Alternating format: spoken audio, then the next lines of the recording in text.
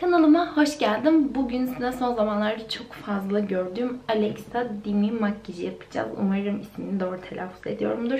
Ee, bu makyajını yapacağım. Şu an şurada net olarak görebiliyor olacaksınız. Ve yine lafı uzatmadan makyaja başlıyorum. Fondöten olarak diyorum bu Backstage fondötenini kullanacağım. Ee, oldukça esmer olduğu için bana bir tık koyu gelen bu rengi tercih ettim. Ama sürünce kamerada çok fazla koyu durmuyordu. Galiba o yüzden kontürle biraz daha yoğunlaştıracağız o koyuluğu. Hemen fondöten sürmeye geçiyorum. Yüzümü nemlendirmiştim zaten. O yüzden direkt olarak fondöteni uyguluyorum yüzüme.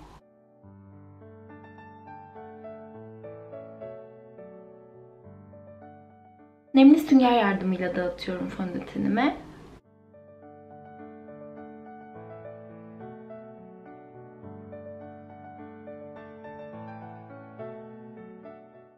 Bu bugün çektiğim ikinci videom. Bir vesikalık fotoğraf makyajı çektim. Acaba onu mu önce izlersiniz bunu mu bilmiyorum ama bu ara cildim çok kötü.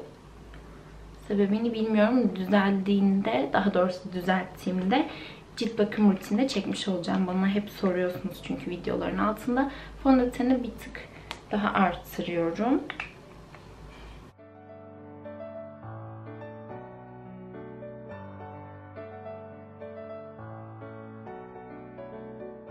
Kapatıcı olarak da Maybelline'in bu kapatıcısını tercih ediyorum.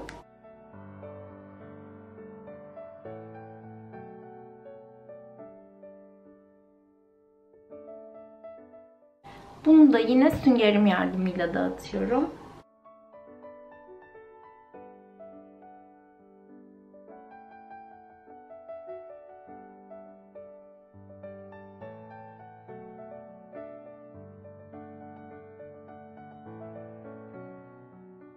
Göz makyajına başlamadan önce kontürü bitireceğim. Konum kontür stick'ini kullanıyorum. Önce bununla gayet yoğun bir kontür uygulaması yapacağım önce yüzüme. Fotoğrafa baktığımda kontür yanağımın daha altında kalıyor. O yüzden üste doğru değil ben de alta doğru bir kontür uygulayacağım. Önce yüzümü çiziyorum.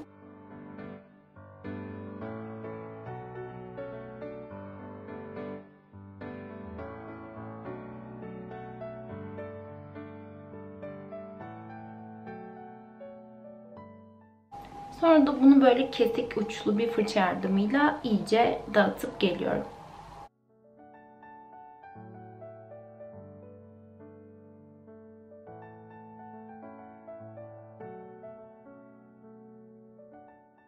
Evet tam olarak normalde biliyorsunuz kontür biraz daha böyle yukarıya gelerek elmacıkları yukarıda bırakacak şekilde yapıyoruz. Ama bu makyajda böyle aşağıya doğru tercih edilmiş. O yüzden onun aynı etkisini vermeye çalışıyorum ben de. Kontürümün baz kısmını oluşturmuş oldum. Bu şekilde elimdeki en koyu ve soğuk olan kontürünü bu Flormar'ın paletindeki kontür rengi. O yüzden bununla şimdi bu kontürün üzerinden geçeceğim.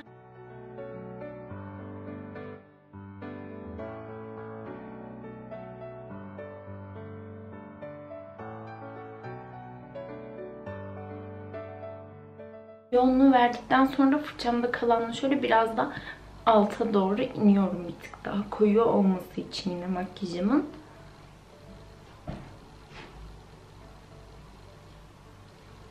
Şimdi ten makyajımı biraz yarıda bırakıp göz makyajına geçiyorum. Buradaki kahverengi farı şöyle geniş uçlu bir fırçaya alıyorum.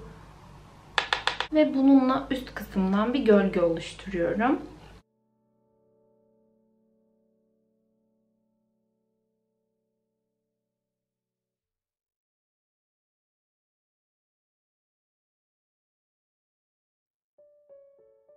Sonra da bu oluşturduğum farın şu iç kısmını biraz daha burnuma doğru çekerek dağıtıyorum.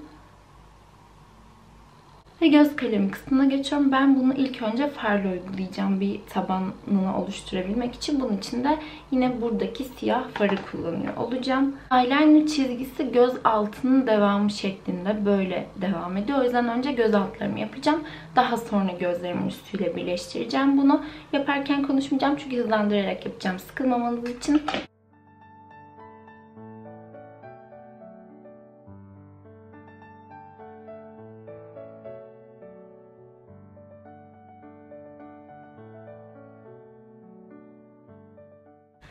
Şimdi alt kısmı tamamladık. Aynı şekilde gözüme tüm gelecek şekilde üst tarafa da bir eyeliner çekiyorum.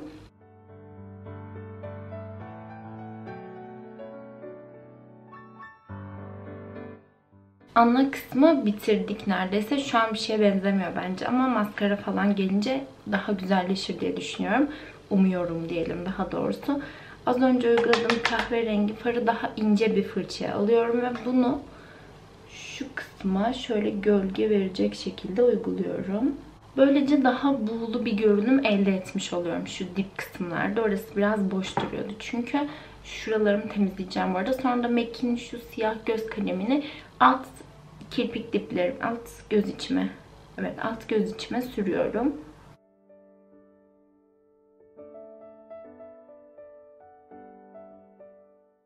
Kısımları biraz kalın yapmışım. Onu şöyle ince bir kulak çubuğuyla kütüp istince kızıyorsunuz çünkü. Temizliyorum. Tam uç kısmın biraz daha böyle sivri gitmesini sağlıyorum yukarı. Şimdi maskara adımına geçiyorum. Kirpikleri bu siyah göz makyajına rağmen böyle tek tek ayrık duruyor. O yüzden şaşırmayacaksınız ama yine teleskopik kullanacağım. Maskarayı da sürüp geliyorum. Maskaramı da sürdüm geldim. Kaşlarıma geçiyorum. Kaşları çok kalın değil ince. O yüzden kaşlarımı birazcık yukarıya doğru alıp böyle incelterek toplamayı deneyeceğim. Bunun için de Joven'in bu kaş şekillendiricisini kullanıyorum.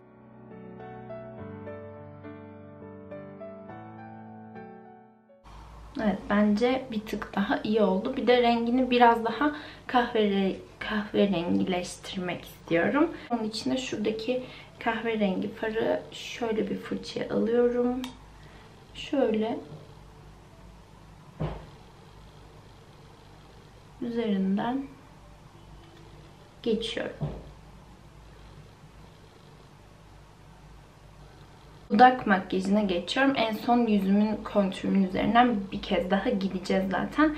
E, dudak için dudakları çok soğuk duruyor. Bunun için direkt elime aldığım ilk dudak kalemi MAC'in bu son rengi olacak. Bununla dudaklarımı üst kısmı biraz M yaparak alt kısmı da oldukça dolgunlaştırarak çerçeveliyorum.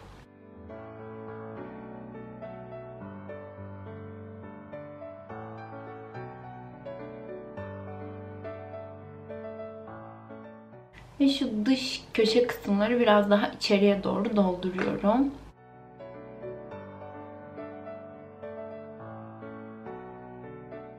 Ruj olarak da bu ikiliyi kullanacağım. Önce Maybelline'e şöyle dudağımı dolduruyorum.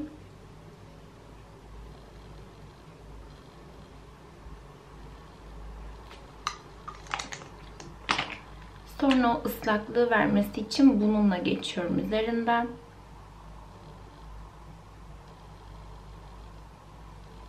parlaklığın fazlasını şöyle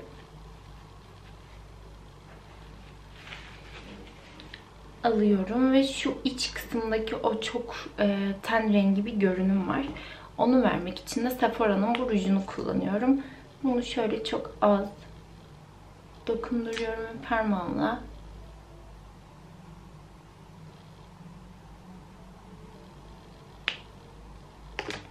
Yayıyorum. Şimdi makyajım artık tamam bence oldu da yani tamamlayınca hoşuma gitti. E, tüm yüzümden şu kontürü tekrar geçeceğim. En sonda göz altımı zaten çok döküp temizlemiştik ya. Çok az concealer geçip bitireceğim.